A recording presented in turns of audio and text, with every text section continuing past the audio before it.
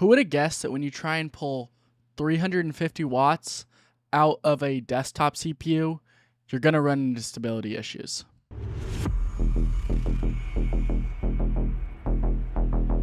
Hey guys, what's going on? It's Chamber here, and as the resident Intel fanboy, I think I need to weigh in on the Intel stability issues that are plaguing a lot of people. If you don't know what I'm talking about, a lot of people with NVIDIA GPUs and Intel CPUs were claiming stability issues. NVIDIA was quick to go out and say, look, this is an Intel issue, and this is affecting 13th and 14th gen i9s.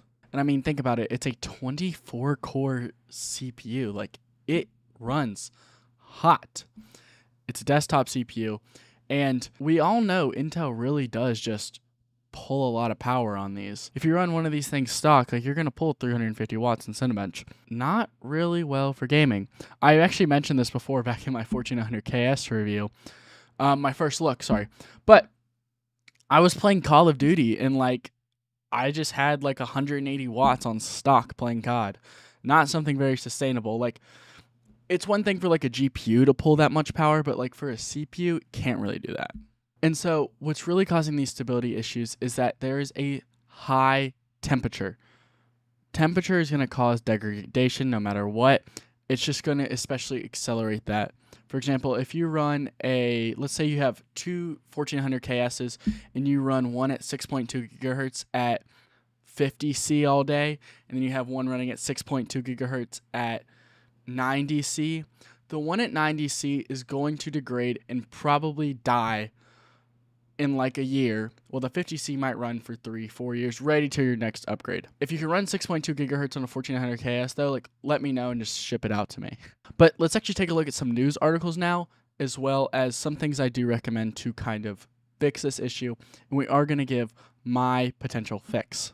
All right, starting off here, this is the VideoCardz article where they were talking about how NVIDIA is telling people to go to Intel to fix their crashing issues. Something you normally don't see. As you can see, this is a Intel link here. If you open it up, it will, let's see, can I click on it? No, this isn't actually like a link, this is just an image. Interesting. But obviously these CPUs do run hot. And a lot of this does have to do as well with the manufacturers. Someone such as Asus was increasing the power limits to over 320 watts stock as kind of Intel's like high end power limit technically, but it still is very hot. So Z790 boards did actually get a BIOS update this week. And what they got was you went from something like this, which supports the 14900KS, to something that introduces Intel's baseline profile, as you can see right here. What is Intel's baseline profile? It's basically just kind of like a failsafe.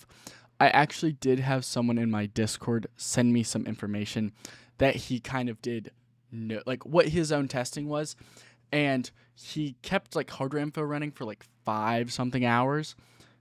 It was like 5 gigahertz average like 5.5 gigahertz max. Like i get like maybe if you're running something like prime 95 all day maybe you like lower the clock speeds but he was just playing games chilling on the desktop kind of is an issue. So this intel baseline profile was turning his 14900 ks into a stock 1300K, something that you do not want.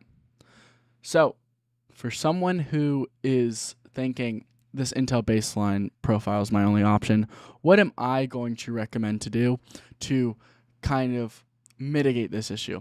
I think the first thing you need to do is just focus on your cooling. We are going to go over some temperature monitoring and some testing soon, but I'm just going to say honestly, just go straight and get a brand new liquid cooler.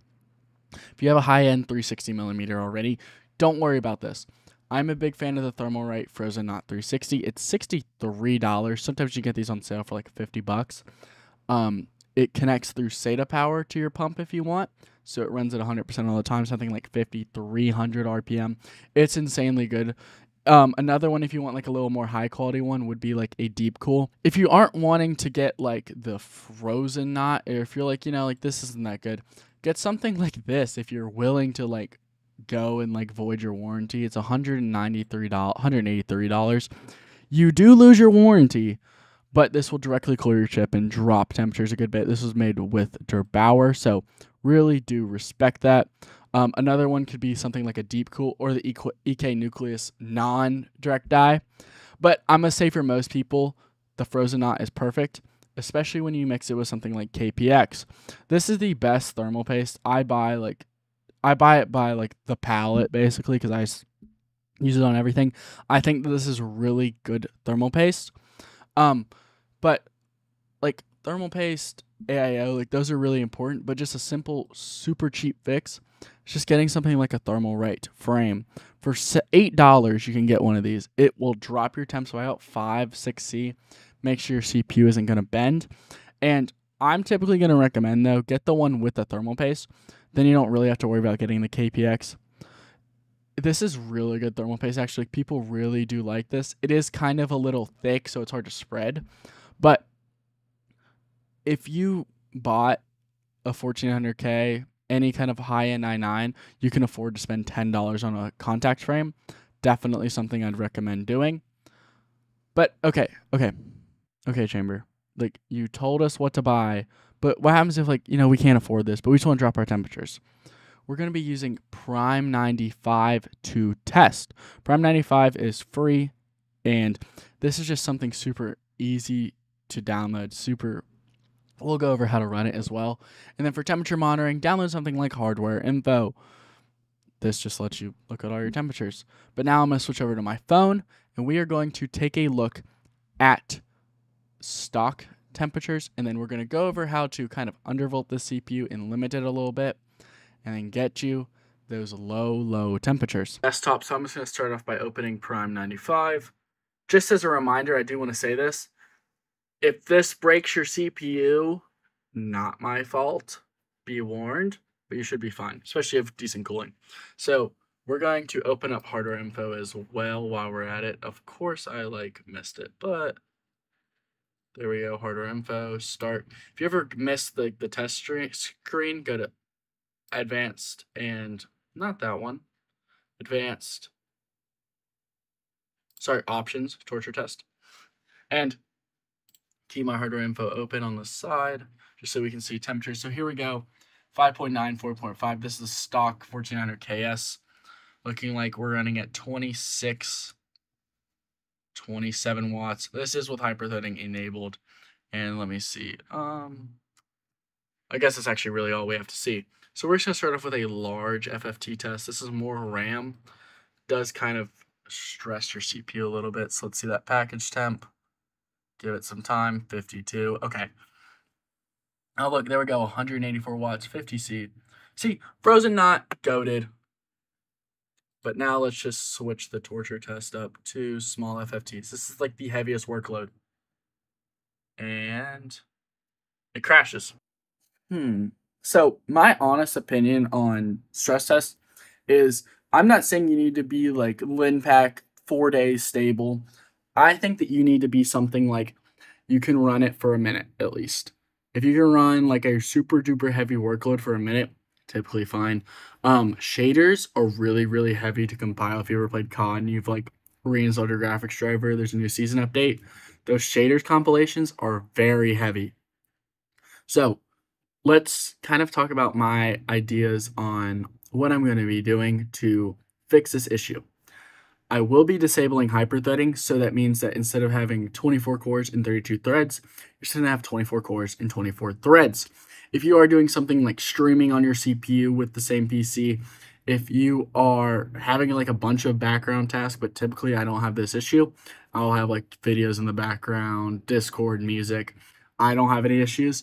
But maybe if you're running like a render, like a CPU render, if you're doing heavy multi core things and you know what you're doing, don't disable hyperthreading. Follow every other setting. But for 99% of you guys who are gamers, disable hyperthreading, get a little bit higher performance as well. Let's go to the BIOS though. For those of you who have never been to a BIOS before, congrats. But right click, restart, and you're just going to spam the delete key. For me, I have a small 60%, so I'm just going to hit function and backspace and get into the BIOS. Here are in the BIOS. Depending on your motherboard manufacturer, it will look just a little bit different. I am in gigabyte. This is my Tachyon, so it might look different depending on who you have, but I'm just going to go straight to the advanced mode. This is where we want to go. So the first thing I am going to recommend is that you do go straight to your performance core ratio. This might be called something else, P cores, performance cores, and set them to whatever your stock is. So if you have a 1400 KS, do 59 right there. If you have something like a 1400K, it's 57. I believe that's the same thing on the 13900 KS. Maybe it's 56. And then 55 for a 13900K. I have a 1400 KS though because I'm big balling like that. 49. Um, efficiency CPU ratio, do 45 for me. 44 on a on a 1400K, 43 on 1300K and 1300KS. I'll put them up on the screen for you guys. Uh, ring ratio, we can just leave this on auto. It's typically going to be anywhere from like 4.4 gigahertz to 4.6. Isn't really going to be what we're worrying about. You just go straight to advanced CPU ratio though, or advanced CPU settings. This might be in a different tab. If you're on Asus, I know it is. It's on like, instead of like the AI tweaker tab, it's in the advanced CPU configuration. We're going to start off by going to hyperthreading, disable. Drop power honestly by like 30%. So let's keep going down, going down, down, down, down, down. And one thing I'm going to recommend, disable under voltage protection.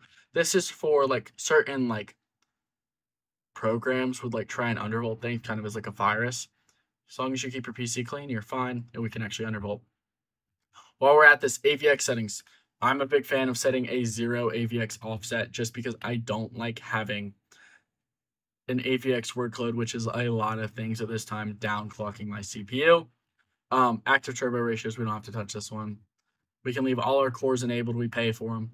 Um, C states control, if you want to, you can disable C1 states um, to enable your turbo package power limit. So all I want to do is I just want to spam 9 on all of them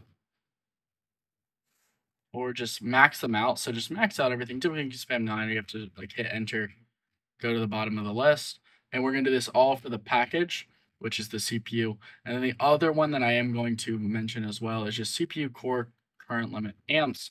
Let's just make sure all the amps. If you do want to limit these to something like more reasonable, like for example, let's say you're like, okay, I'll let my CPU get a little hot at times, so you max it out at like 300 watts um, the package, the times, I'm going to recommend that you max out.